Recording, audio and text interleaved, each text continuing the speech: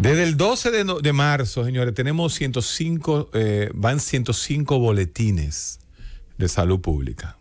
Y el Y nosotros- ministro todavía sigue dando los boletines. Sí, lo sigue dando.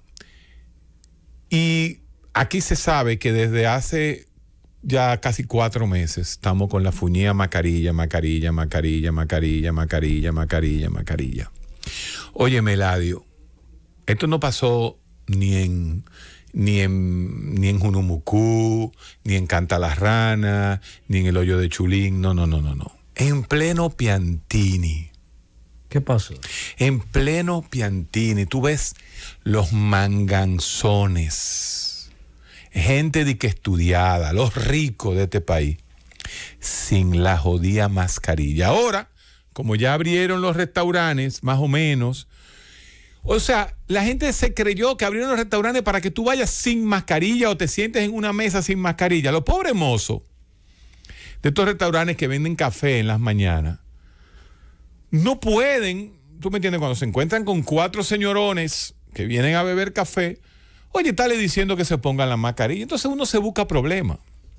Esa gente se busca. No, uno y uno se busca problemas porque uno llega con la fuña de mascarilla, busca el café para irse al parqueo, a beberse su cafecito. Hay ya gente sentada porque ya la gente se puede sentar, pero sin mascarilla.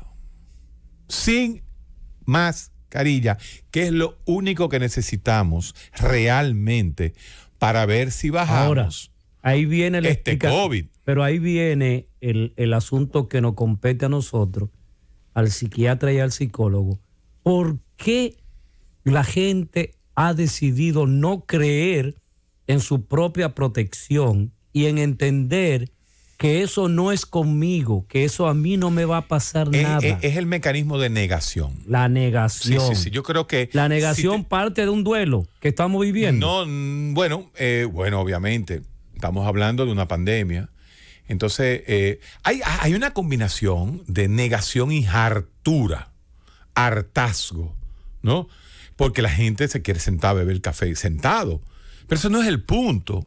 El punto es la fuñía mascarilla. O sea, ¿cuál es el fuñido problema? Bueno, tú dices, ahora mismo a mí me están enfocando. Yo estoy a más de 7, 8 pies de ti. Sí. Ya nosotros fumigamos esta, esta, esta, cabina. esta cabina se fumiga todo el tiempo.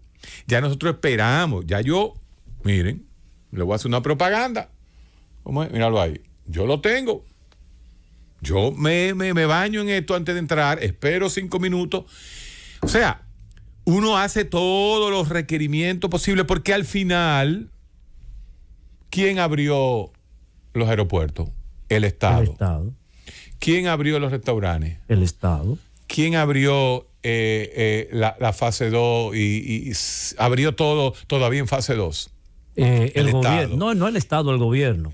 ¿Quién quitó el toque de queda? El gobierno. Entonces, lo único que nos queda a nosotros es seguir con nuestras mascarillas. Sí, pero ahí es la, la explicación que nosotros debemos darle a la gente.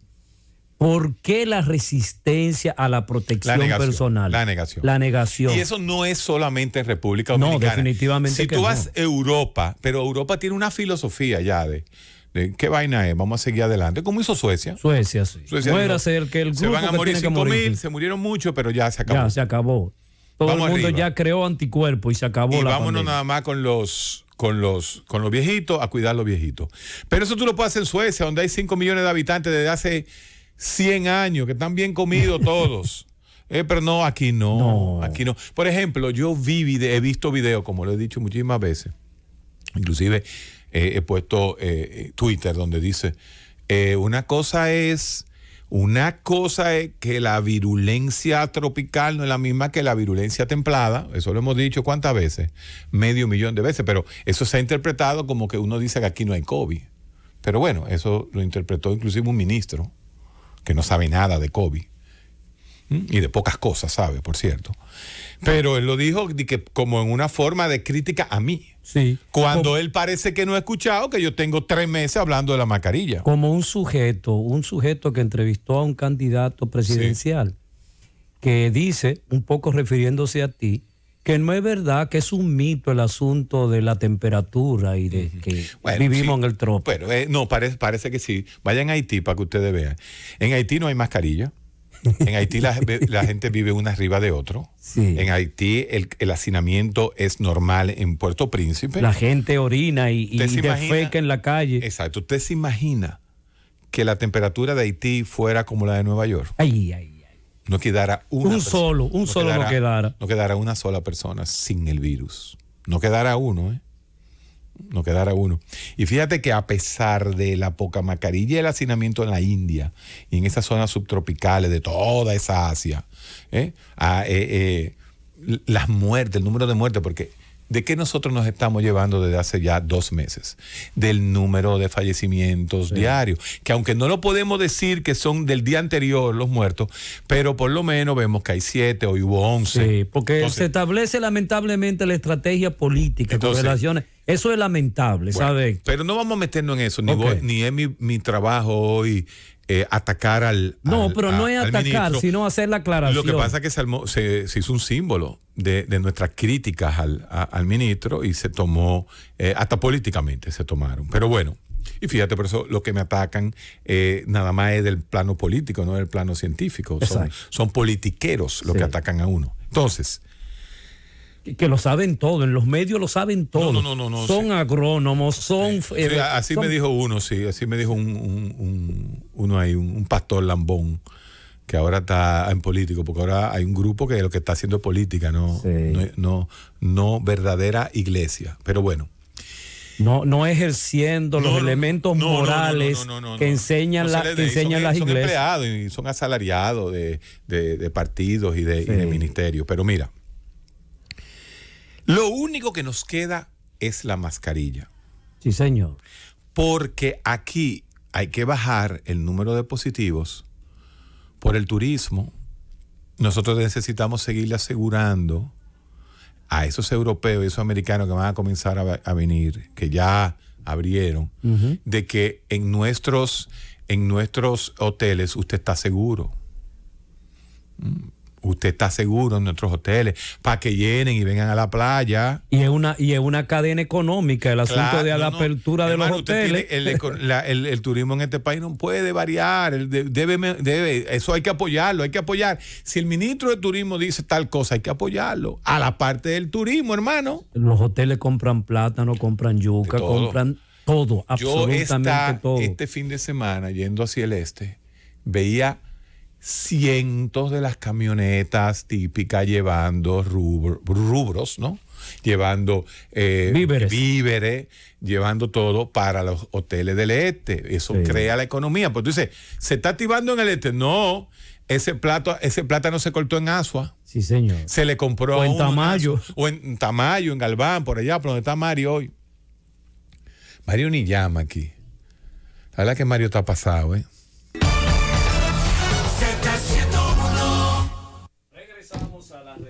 Médica de la Z. Este jueves, eh, que no es un lunes, estamos conversando el doctor Héctor Guerrero Heredia y mi persona, Eladio Hernández, eh, tratando de enfocar, de encontrar la explicación del por qué no solamente los sectores eh, empobrecidos No, hace, más de, hace más de 70 años, que cuando tú subes la parte norte de la capital y la parte, eh, la parte norte, ¿verdad? Y la otra, el otro que no- la oeste, tú encuentras la misma pobreza que yo viví eh, en la parte norte. O sea, como que si nada ha pasado, nada ha pasado en el transcurso de cualquier cantidad de, de gobierno que hemos tenido. Y entonces, en este momento histórico que estamos pasando... Tuve la misma acción, la misma reacción en Piantini. Exacto. Entonces, como que no, no a, los profesionales de la conducta nos hace, nos hace sentir de que nosotros debemos investigar cuál es la, la- la estructura de personalidad de, de nosotros los dominicanos, muy específicamente nosotros caribeños, que estamos colocados en el medio de las Antillas Mayores.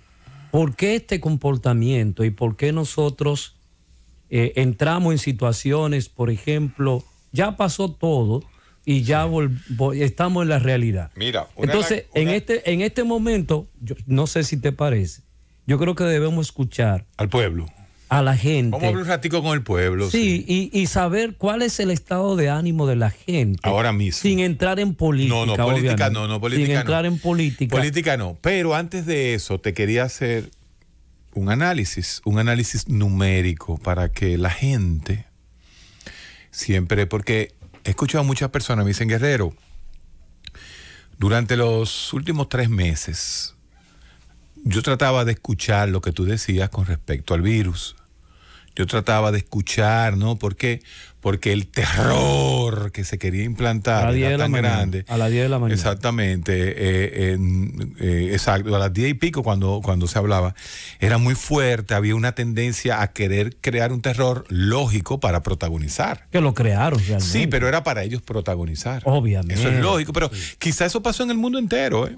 Eso es lo que hay que entender. Entonces, yo le voy a dar... El, el, el, el, el gobernador de Nueva York y el alcalde hablaban casi todos los días también. Bueno, el gobernador de Nueva York mandó a buscar 30 mil ventiladores. Sí. Donald Trump le mandó mil en un barco y no usaron ni 30.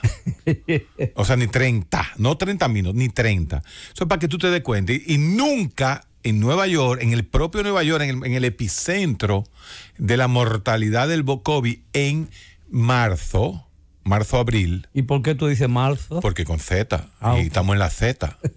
Entonces, en marzo, abril, se llenaron los hospitales. Que ese otro punto aquí que hay que decir claro, es verdad que los hospitales aquí están, están llenos de COVID, pero los que se han puesto para el COVID, que son, no son la mayoría. Esto es importante que se diga. Entonces yo le voy a dar otro ejemplo para que todo el mundo entienda. Mascarilla, mascarilla, mascarilla.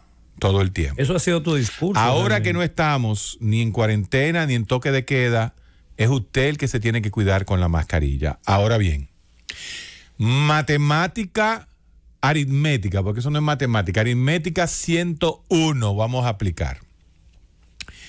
Como se han aumentado las pruebas, están apareciendo más positivos. Sentido común. Sentido común, ¿verdad? Entonces, ¿qué es lo que tenemos que decir? En el mes que ha pasado 30 días, o sea, desde el 4 de junio al 2 de julio, repito, desde el 4 de julio al 2 eh, de junio al 2 de julio, el promedio de muertes diarias es de 8 muy parecido al número de muertes diarias entre abril y mayo. Es todo. Wow. Repito, es cierto que los casos positivos han aumentado debido a que el número de pruebas se ha multiplicado por dos y a veces hasta por tres. Es cierto que el número de positividad aumenta. Es real, real, que por de, de fase 1 a fase 2, ¿m? que hay apertura, aumentaron los casos, porque era de esperarse, pero el número de muertes diarias en estos últimos 30 días es de 8.48 específicamente. Como no llegó a 50, redondeamos en 8. Entonces, a mí, a mí, a mí personalmente, nadie me puede venir a mí a meter ni cuentos, ni terror, ni nada. Porque para eso están los números. Que quede claro, ¿no? ¿Tú escuchaste a los foques? ¿Qué pasó con los focos? No, no, que él insinúa que eh, nosotros estamos inventando, que Ah, son fue mitos, sí, son, es parte de No, ese- no, pero los foques. es parte de esa cosa. Pero yo no bien. quiero yo quiero referirme a ese yo quiero ir al señor. programa, yo quiero ir con él al programa. No, él, Él me, él me- él me invitó. él te invitó. Sí. Ajá, Yo voy ahí un día de esto. El programa. Ese, ese tigre es un matatán. sí. No, yo no me meto con a los foques, ¿no? Sí, eh, eh, eh, Ese es un fenómeno del postmodernismo. Sí, Así mismito como la relación eh, de, de la vicepresidenta y el expresidente. Son relaciones postmodernas esa- interesantísimas. Esos, esos son Así casos que hay que analizar Sí, también. así mismo es. Porque el discurso de ese muchacho, que yo no sé por qué Ese diablo. Pero no le diga, no le diga muchacho, que es Bueno, tipo ese joven, ese joven. Dime. Bueno, frente a mí es un muchacho por mi edad. Eh, yo no sé por qué él insinúa permanentemente eh, yo no sé si es para que le cojan pena, que él viene de Capotillo y que él viene de Capotillo y que que venga de Cap- Capotillo, ahí está la gran población de la capital. Este, y muchos de nosotros veni- venimos también de la marginalidad y no estamos sacando. Yo vine de la cañita y, y, y cójanme pena, espérese, eso no es así. Todo ha cambiado en esta sociedad y vamos a hablar con el pueblo. Todo ha cambiado. vamos a hablar. Los paradigmas de antes, pocos han sobrevivido y pocos van a sobrevivir. Y vamos Pero a- hay que, hay que ponerse las pilas porque el posmodernismo y el cambio viene. Definitivamente. Eh, vamos a escuchar Buenos al pueblo días. para saber su Su qué opinión. piensa el pueblo. Cualquier cosa, estamos en la receta. El desahogo, entonces. Buenos días. Buenos días. Buen día, buen día, bendiciones, bendiciones para ti. Mira, te habla Bienva. Quizá me voy a salir un poco del contexto eh, de algunos temas, pero mira, porque tú como que eres experto en personas cuando están o locos o no sé, pero mira, querido, ¿tú crees que puede ser cierto que una iglesia haga una rueda de prensa para decir que un candidato va a promover el casamiento. Señores, hay que cambiar la constitución. Mira, mira lo que pasa. Cuando tú ves que no una iglesia, no, no diga la palabra porque la palabra iglesia tiene dos mil años y la fundó Pedro, ¿no? San Pedro, el cristianismo. Aunque a ti no te guste, Ladio, que yo hable de esto, el cristianismo es el cristianismo. El cristianismo es la religión que Pero más... es bien para que está diciendo. Yo no, pero yo no he tú- dicho es nada. que yo te estoy viendo la cara, Eladio, yo no yo te estoy viendo la cara, tú nada. eres demasiado Yo lo que- anticristiano. Yo lo que entiendo Ese es. comunismo tuyo. No, yo lo que entiendo es, y Bienva tiene razón. Todo homosexual o lesbiana nace de un heterosexual. No nace de la nada. No, no, no, se sabe de quién nace, porque tú Bueno. no puedes hablar de la preferencia. El punto está. El asunto es que yo pienso que tú como eh, cuando tú tienes una idea acerca de la creación, no es, tú no tienes la razón absoluta. Bueno. Tú no puedes permitir y discriminar a otros seres humanos, porque los gays y, y la lesbiana son seres humanos Hijos inteligentes E hijos de y Dios. capaces y también Pero dilo. hijo- hijo de Dios también. Gracias. Para poner, para complacer. No tienes que decir Entonces, las cosas como son. Tú no puedes pensar en, en esos discursos de que una persona que es gay o homosexual es hijo del demonio. Lo primero que hay que ver es Pero venga acá. los pastores, si ellos están hablando a su feligresía están hablando en tono personal, pero se ha visto muy, pero muy sospechoso a pastores apandillarse específicamente Pero venga. en política con cosas específicas. El lunes, la receta médica de la Z va a traer ese tema y va a abrir los micrófonos lunes, martes, miércoles. Ya cuando pase la jodida política, cuando pase las jodidas la elecciones, que regresemos al tránsito normal, nosotros vamos a, vamos a hablar con esos pastores apandillados ¿m? Eh, que no hablan por su feligresía, porque en este país yo creo que la cosa está muy clara y lo que quiere la gente. Entonces, hay que averiguar quiénes son. Por ahí vi yo uno con un, con un bastón. Imagínate, empleado de uno de los partidos lambones del Estado, Ajá. ya haciendo y deshaciendo. Pero nada, eso se va a hablar después. Sí, pero a mí me, a veces a mí me molesta eh, en Sí, términos pero eso es por tu comunismo, eso es por tu que comunismo. no- pero no tiene nada que ver con comunismo. El comunismo es, eh, es humanidad. Ser comunista es la representación de la humanidad. Cristo era comunista. ¿Y, y qué es lo que resulta? Que estos predicadores no le venden a la gente. Un de grupo que- de predicadores. un- o un grupo. Apandillado. asalariados también. Y de- asalariados también. De que el hecho de que alguien tenga una preferencia diferente sí. ya es. del En el demonio. 2021. En el 2000, por Entonces, favor. cuando se toman esos recursos en el 2021, tú te das cuenta de la desesperación que hay. Buenos días, receta médica. Buenos días, saludos. Diga usted, Bendiciones siempre, lo escucho desde Nagua. Nagua, Sí. Bien, gracias a Dios. mira, en la poza de Bojolo hay sargazo. No, no está, está bonita la poza. A- ahora mismo la playa no está habitada porque sabes que y, y Sí, pero que uno se mete en la tabla a surfear y la posa y, y, lo- y la playa gringo tampoco está abierta. No, todavía no están abiertos, ¿no? Está bien. Le habla, aló, Dime. le habla Chilote Torres Informe en las redes sociales. Y le hacemos un llamado a la población en general, tanto aquí en la provincia de María Trinidad Sánchez como también al país, que por favor tomen la cosa con calma. Esto pasa el domingo. Claro. A la juventud también le hacemos un llamado que tienen un brillo y una cosa que tomen una decisión si ustedes quieren apoyar a, cua- a cualquier partido que usted vaya a apoyar un ejemplo en el caso mío yo soy del PLD yo voy a apoyar mi PLD pero ya yo no puedo salirme de ahí ¿tú entiendes? no puedo discutir con uno del PRM y aquí Ariti de Victoria el PENCO y los diputados van a ganar claro Ah, eso es bueno, míralo ahí. Le hicimos una propaganda a.